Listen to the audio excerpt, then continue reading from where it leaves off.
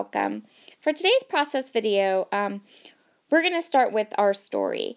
Um, the story that goes with these photos is very important. It's one that I want to make sure gets put into my scrapbook, but I don't really have great photos to go with it.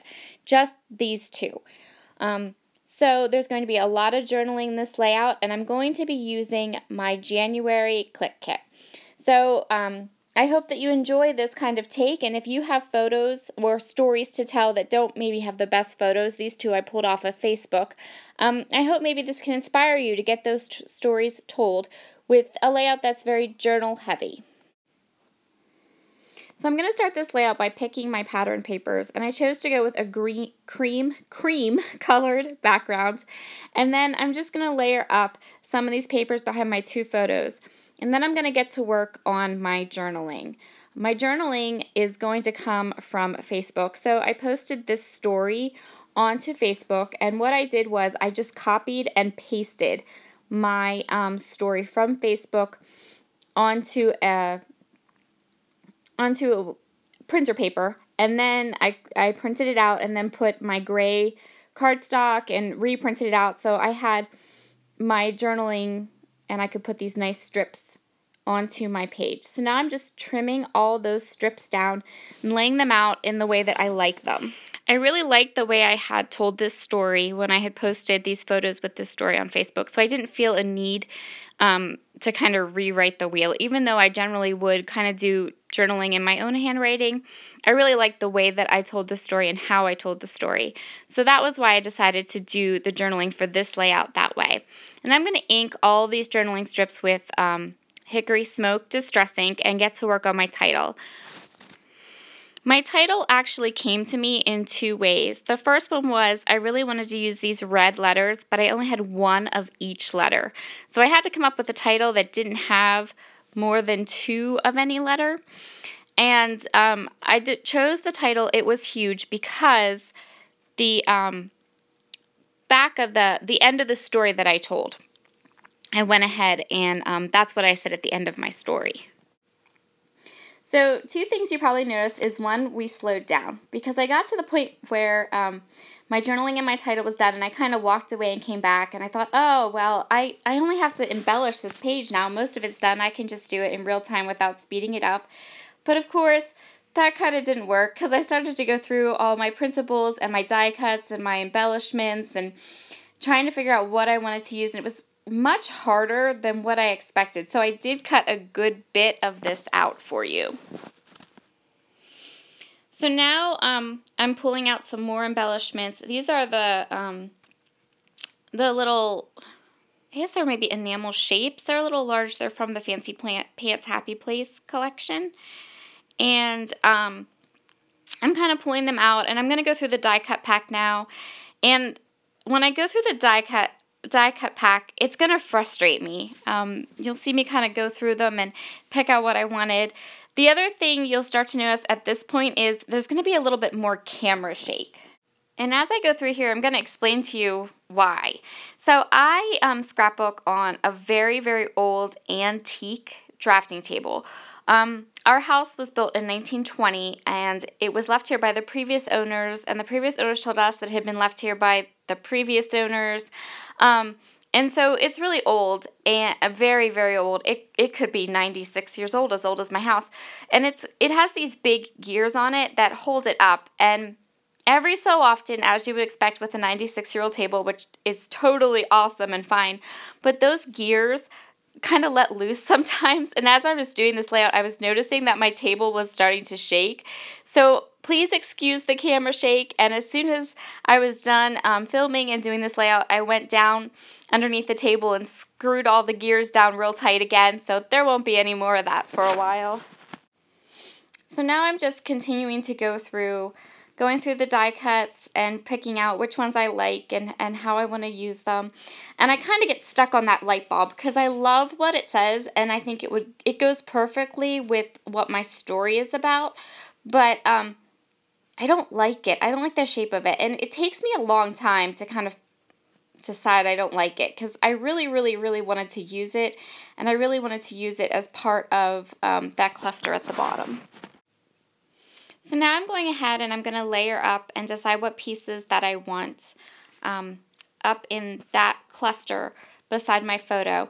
And this cluster comes together really easily. I It's very easy for me to kind of choose what pieces I want and where I want to put them.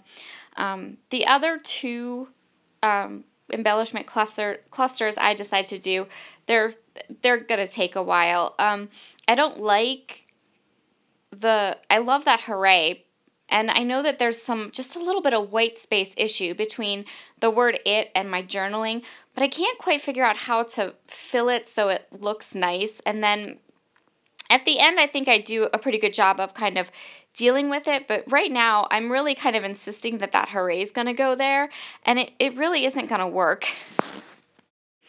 So I decide just to ignore these two places of embellishment that, that aren't working for me and I can't I can't figure them out and work and kind of focus on that one up on my photo that I really do like. So I'm going to go ahead and take all those pieces and I'm going to use some Tim Holtz Hickory Smoke Distress ink on all the different layers. And then I'm going to grab these uh, little word stickers from the Fancy Pants Happy Place collection. And I'm going to pull three off that I think really um, talk about my story and the feelings and kind of what the story is about. And those three words are smiles, way cool, and moments. And I'm going to go ahead and place those in different areas around my embellishment cluster. And the next thing I'm going to grab are um, those enamel shapes that I had a little bit ago. And I'm going to grab um, a yellow star and two little red hearts to kind of finish that cluster. And I really like the way that the, that that cluster looks, but I just I'm really struggling with that other part of my layout. So at that time when I, I get those down and I, I grab these little red hearts and put them down, I really just walked away from this layout. I went downstairs and just was done. Um, I made some dinner and I just thought about what what was wrong with it and what I didn't like about it and what I could fix it. You know, how I could fix it or or or what um what I could do to fix it. And it was really a struggle. Like I said, I really I walked away for quite a while after this. And when I came back, I had it. No light bulb. What I decided I needed there was something more rectangular in shape. I needed something to make my layout finish off my square. So at the top of my page, I kind of had a square going. And then my journaling kind of continued that idea of like a square going down. And then I needed to continue that square shape. So what I did was I took some of that striped teal pattern paper and I took the die cut from the die cut pack that said happy so that brought in some of the teal colors that were in that original cluster at the top, and um, it brought in some reds. And um, I'm going to grab some of the labels and kind of layer some of the labels up behind my square. Um, but that's what it needed. I needed to finish my square because that shape of that light bulb, while the um, while what it said was perfect and lovely, the shape of it was really not not working in that space. So now we're going to go back to our layout and we're going to add our square, which is going to finish off, or we're going to add our triangle. And as you can see, that it finishes off that, that space down there and finishes off kind of, I, I hope you can see what I mean by like that square shape that I have, you know, with the, the journaling and the, and the, the photos and the title. And um, we were kind of missing, my layout was missing that bottom corner. It, it really needed that. So I'm just inking everything up. I'm going to layer in that yellow label to bring in some yellow behind my cluster.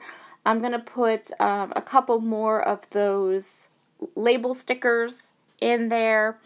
And I'm going to get to work on the third layout. And you'll notice I already moved the hooray. I've decided, at this point, I've decided I'm just kind of going to ignore that kind of open white space in there for the moment because I really think that that hooray looks so much better more as a cluster on that right corner under the photo. And now um, I'm going to work on that hooray. I'm going to layer in um, some printable tabs and this frame. And I'm actually kind of interested in watching this as I do the voiceover because what happens is, see, I lay them down all nice the way I think I want them. And then I take them up to glue them down um, to put tape on the back of them. And uh, I totally forget where I had initially put them.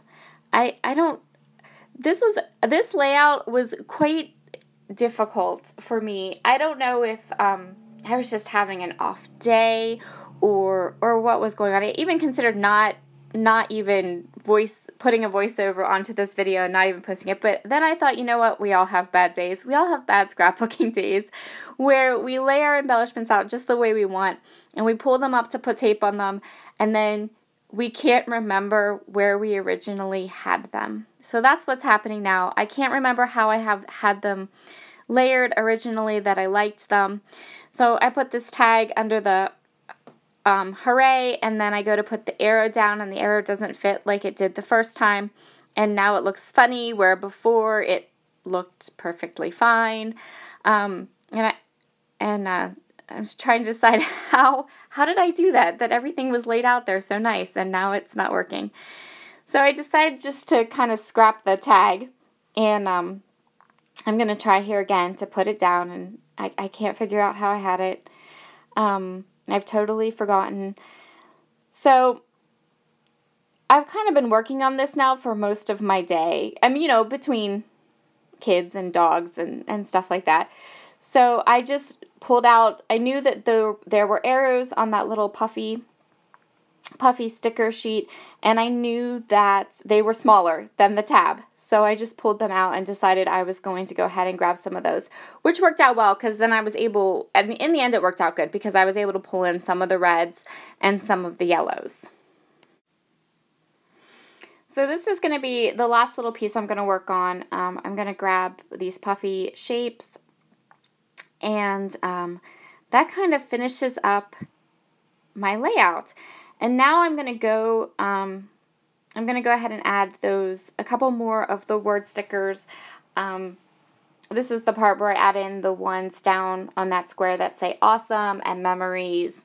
And then I'm going to grab a um, dark navy blue one that says love this. And I'm going to put it up by the photos. And I'm also going to put, um, I think I grabbed one more, one or two more of those little puffy sticker sheets and uh, go ahead and put those around to kind of fill in some of the the gaps in in the layout where I think we still need just a little bit more embellishment to finish it off. And last but not least, I'm going to grab some enamel dots. And this is going to fix my problem beside my T. Remember that like gappy space over there that I kept saying, I tried to put the hooray over there and I tried to put this over there. And so I grabbed some teal enamel dots and I start to sprinkle them around. And I kind of realized, hey, if I put a really big one over there, one of those, you know, the big enamel dots on the package up there, that kind of helps to fill in that um, white space up at the top that I'm really kind of not liking.